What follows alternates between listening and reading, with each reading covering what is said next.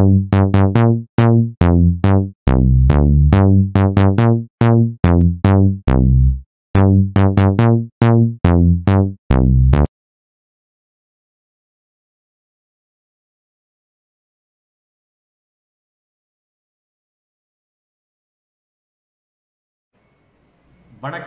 எப்படி இருக்கீங்க? நல்லா இருக்கீங்களா? போன பதிவில் உங்களுடைய திறன்பேசி ஸ்மார்ட் ஃபோன் எந்த அளவுக்கு பாதுகாப்பானது அப்படிங்கிறத பற்றி பேசியிருந்தோம். அதனுடைய தொடர்ச்சி தான் இந்த பகுதி. இரண்டாம் பாகம். உங்களுடைய திறன்பேசி எந்த அளவுக்கு பாதுகாப்பானது?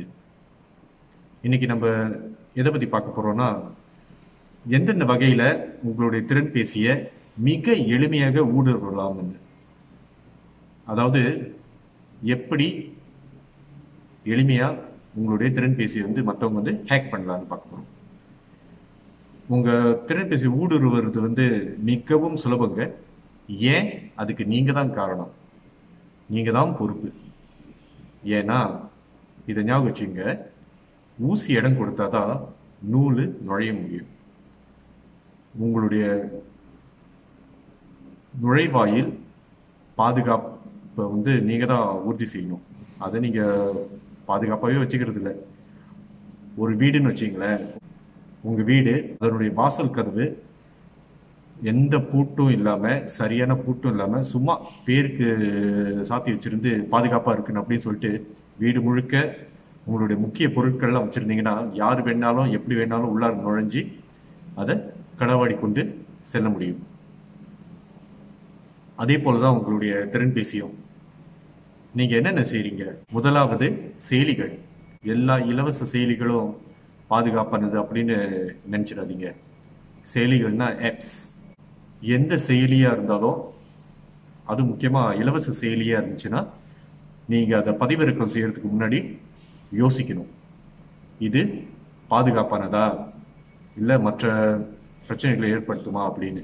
உங்களுக்கு தெரியாமல் அந்த செயலிகளை நீங்கள் பதிவிறக்கம் செஞ்சுட்டு அதுக்கப்புறம் அது பின்னால் ஒரு பேக் டாக் கிரியேட் பண்ணிச்சுன்னு வச்சுங்களேன் உங்களுடைய திறன்பேசியில் உள்ள தகவல்களை அது உருவாக்கிய பின் வழியாக மற்றவர்களுக்கு சென்று சேர்த்துவிடும். இதை நீங்கள் ஞாபகம் வச்சுங்க முக்கியமாக கேம்ஸ் மற்ற சோஷியல் ஆப்ஸ்லாம் இருக்குல்ல ஃபன் ஆப்ஸ்னு சொல்லுவாங்கல்ல அந்த மாதிரியான செயலிகளை வந்து நீங்கள் கவனமாக பார்த்து யோசித்து படித்து பார்த்து அதை பதிவிறக்கம் செய்து பயன்படுத்திக் கொள்ளுங்கள். அப்படி இல்லைன்னா அதுக்கு மட்டும் நீங்க வேற ஒரு திறன்பேசியை வச்சுக்கிட்டு நீங்க அதை செயல்படுத்திக் கொள்ளுங்கள். உங்களுக்கு தெரியுமா?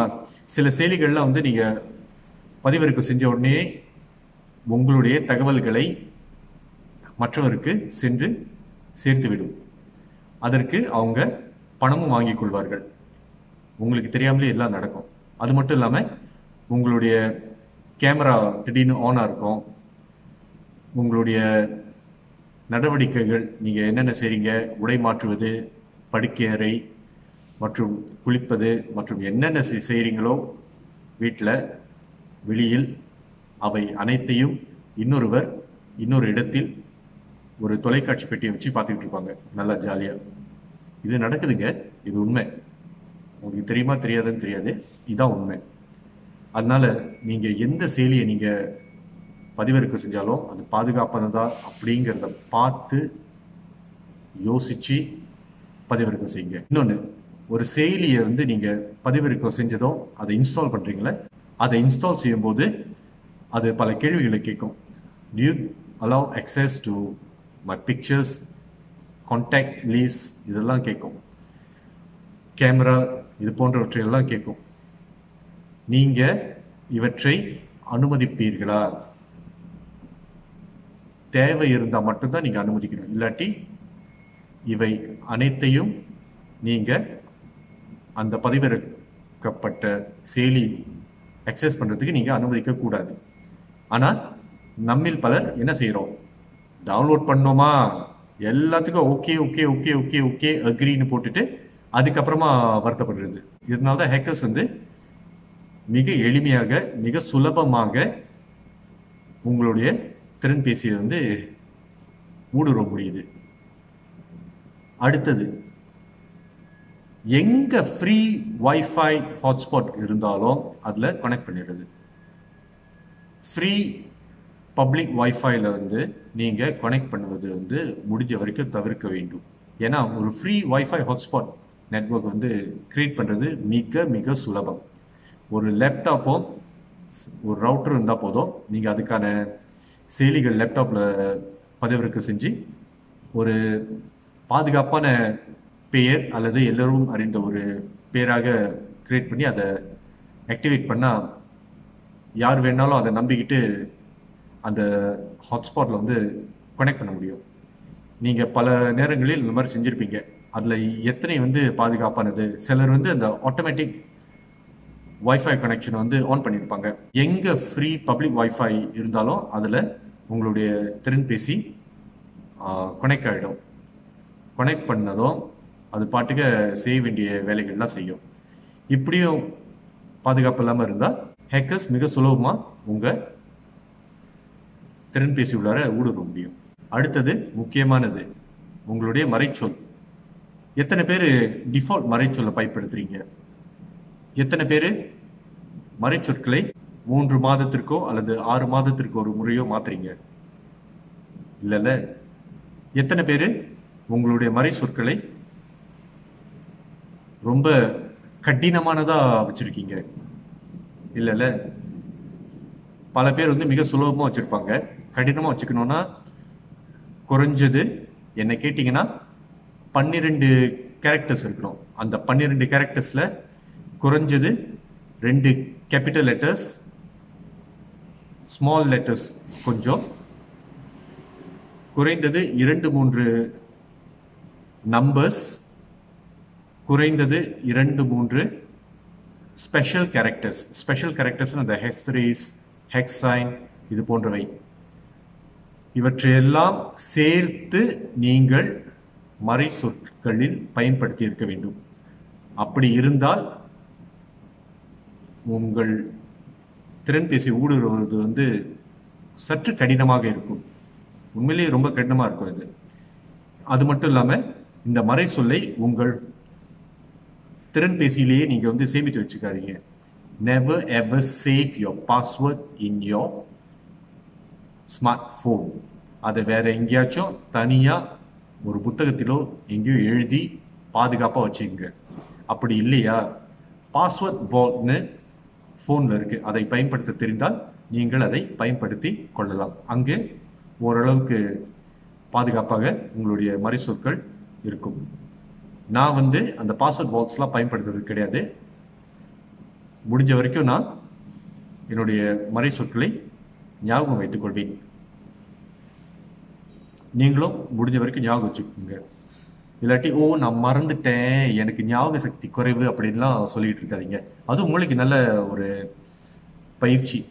மறை ஞாபகம் வச்சுக்கிறது. மறை ஞாபகம் வச்சுக்கிறது வந்து கடினமே கிடையாதுங்க. அது ஒரு பேட்டர்ன் தான். நீங்கள் ஒரு பேட்டர்னை நீங்கள் ஞாபகம் வச்சுக்கிட்டீங்கன்னா அது உங்களுக்கு நினைவு இருக்கும். உங்கள் பேரையோ உங்கள் பேர் சம்மந்தப்பட்டதையோ நீங்கள் வந்து பயன்படுத்தாதீங்க. வேறு ஏதாவது ஒன்றை வந்து பயன்படுத்துங்க. வார்த்தைகளை மாற்றி விடுங்கள் பன்னிரெண்டு கேரக்டர்ஸ்னு சொன்னேன் அதை ஞாபகம் வச்சுங்க இன்னும் ஒன்று மறை சொற்களுக்கு பதிலாக ஃபோன் எக்ஸஸ் பண்ணுறதுக்கு வந்து சில சில பயோமெட்ரிக் விதமும் இருக்கும் பேட்டர்ன் விதமும் இருக்கும். நீங்கள் அதையும் பயன்படுத்திக்கலாம். இதெல்லாம் செய்யாததுனால தான் ஹேக்கர்ஸ் உங்களுடைய திறன்பேசியை மிக சுலபமாக ஊடுருவ முடிகிறது. ஏன்னா உங்கள் மறை சொற்களை தெரிகிற மாதிரி அங்கேயே வைக்கிறது. இன்னொன்று எங்கே இலவச ஃபோன் சார்ஜிங் பாட் இருந்தாலும் அங்கே நீங்கள் ஃபோனை கனெக்ட் பண்ணுறது அதுக்கு பின்னாடி என்ன இருக்குது அப்படிங்கிறதுலாம் உங்களுக்கு தெரியுதுல்ல. நீங்கள் ஃபோனை நீங்கள் கனெக்ட் பண்ணீங்கன்னா என்ன ஆகும்? அதற்கு பின்னால் உள்ள செயலிகள் அல்லது அங்கே மறந்திருப்பவர் யாராவது உங்களுடைய ஃபோனை மிக சுலபமாக ஹேக் பண்ண முடியும்.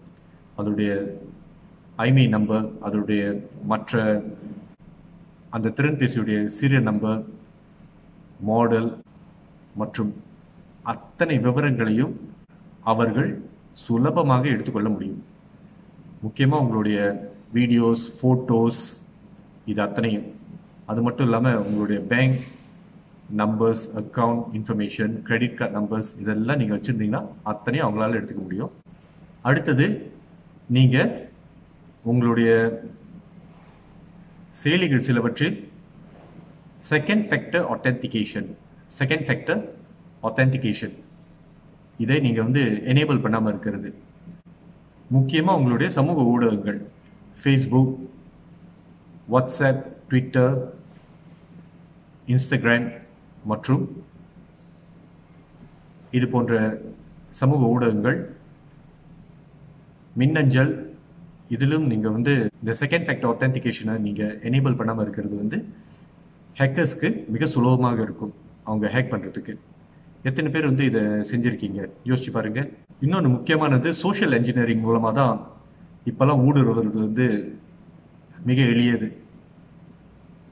எப்படின்னு கேட்குறீங்களா உங்களுக்கு வந்து ஒரு மெசேஜ் வரும். வாட்ஸ்அப்பாக இருக்கலாம் எஸ்எம்எஸ்ஸாக இருக்கலாம் அல்லது மெசேஞ்சர் மூலமாகவும் உங்களுக்கு மெசேஜஸ் வரலாம். இல்லை ஃபேஸ்புக்கில் வரலாம். ஒரு யூஆர்எல் அதாவது ஒரு இணைய பக்க முகவரியை கொடுத்து அதை நீங்கள் கிளிக் பண்ண சொல்லுவாங்க. அது வேற ஒன்றும் இல்லை. உங்களை பற்றிய ஒரு முக்கியமான வீடியோ வந்திருக்கு அப்படிங்கிற பேரில் வரும். இல்லைன்னா யாராச்சும் ஒருத்தர் வந்து நீங்கள் சப்போர்ட் பண்ணுங்கள் அவங்களுக்கு வந்து நீங்கள் லைக்ஸ் போட்டால் தான் அவங்க வந்து வெற்றி பெறுவார்கள் ஒரு போட்டியில் அல்லது தேர்ந்தெடுக்கப்படுவார்கள். இப்படிலாம் வரும்ல. சில பேர் இந்த தொலைக்காட்சி கலைஞர்கள் இவர்களுக்கு ஓட் பண்ணணும். ஓட் பண்ணால் அவங்க ஜெயிப்பாங்க. இப்படின்னு சொல்லிட்டுலாம் தகவல்கள்லாம் வரும். அதை நீங்கள் நம்பிக்கிட்டு கிளிக் பண்ணுவீங்க. அப்போ என்ன ஆகும்? சில வேளைகளில் அவை பொய்யான லிங்காக இருக்கும். நீங்கள் அதெல்லாம் ஒழுங்காக பார்க்க மாட்டீங்க. நீங்கள் கிளிக் பண்ணிடுவீங்க. அப்போ ஹேக்கர்ஸ்க்கு வேலை மிச்சம். அவர்கள் நினைத்தது நடந்து விட்டது. இதுதான் சோஷியல் இன்ஜினியரிங் உங்களை வந்து ஈர்த்து உங்கள் மூலமாகவே சொந்த செலவில் சூனியம் வச்சுக்கிறதுன்னு சொல்லுவாங்க. நம்ம அனைவரும் இதை நம்பிக்கிட்டு செஞ்சுக்கிட்டு இருக்கோம். சில பேர் வந்து பெட்டிஷனுக்காக அதை வந்து கிளிக் பண்ணணும் அப்படின்னு எல்லாம் வரும். நீங்களும் அதை நம்பிக்கிட்டு கிளிக் பண்ணுவீங்க சில வேலைகளில் நீங்கள் கிளிக் பண்ணதும் அது சரியான தகவலை காட்டுற மாதிரி இருக்கும். ஆனால் சில வேளைகளில் அது பொய்யான பக்கமாக இருக்கும். அது உங்களுக்கு தெரியாது. ஏன்னா நீங்கள் அந்த ப்ரௌசர் மேலே இருக்கிற இணைய முகவரி வந்து நீங்கள் சரியாக படிக்கிறது கிடையாது. இன்னொன்று முக்கியமானது உங்கள் ப்ளூடூத் ப்ளூடூத் வந்து எப்போவுமே ஆனில் இருக்கணும் அப்படின்னு சில பேர் சொல்லியிருக்காங்க சில செயலிகள். ஃபார் எக்ஸாம்பிள் ட்ரேஸ் டுகெதர் உங்களுடைய ஹெட்ஃபோன் இது போன்றவற்றிற்கு ப்ளூடூத் எப்போதும் செயலாக்கத்திலேயே இருக்கணும் அப்படின்னு சொல்லுவாங்க. ஆனால் ப்ளூடூத் மூலமாக உங்கள் திறன்பேசியை ஹேக் பண்ண முடியும் தெரியும்ல? ஒரு பத்து மீட்டர் சுற்றளவில் உங்கள் திறன்பேசி இருந்தால் உங்கள் ப்ளூடூத் அதே வேளையில் ஆனில் இருந்துச்சுன்னா அண்ட் டிஸ்கவரபிளாக இருந்துச்சுன்னா கண்டிப்பாக உங்களுடைய திறன்பேசியை மிக எளிமையாக ஊடுருவ முடியும். இது எத்தனை பேருக்கு தெரியும்? அது மட்டும் இல்லாமல் உங்கள் திறன்பேசியில் எல்லாத்தையும் அலாவுன்னு போட்டுறது. இது அலாவ் அது அலாவ் இது சரி அது சரின்னு நீங்களே பல கதவுகளை திறந்து விட்டு ஹேக்கர்ஸை வாங்க வாங்கன்னு கூப்பிட்டுட்டு அதுக்கப்புறமா ஏதாச்சும் நடந்துச்சுன்னா புலம்புறது அப்போ தப்பு யார் மேலே? உங்கள் மேலே தானே. நல்லா யோசிச்சு பாருங்க. சரி இவ்வளவு சொரிய இதுக்கெல்லாம் என்ன தீர்வு அப்படின்னு நீங்கள் கேட்டிருப்பீங்க. ஒரு சில தீர்வை நான் வந்து இதில் சொல்லியிருப்பேன். இருந்தாலும் அந்த தீர்வுகள் அனைத்தையும் முக்கியமாக நீங்கள் கடைபிடிக்க வேண்டியவற்றை நான் வரும் பதிவுகளில் உங்களிடம் பகிர்ந்து கொள்கிறேன். பொறுமையாக காத்திருங்க.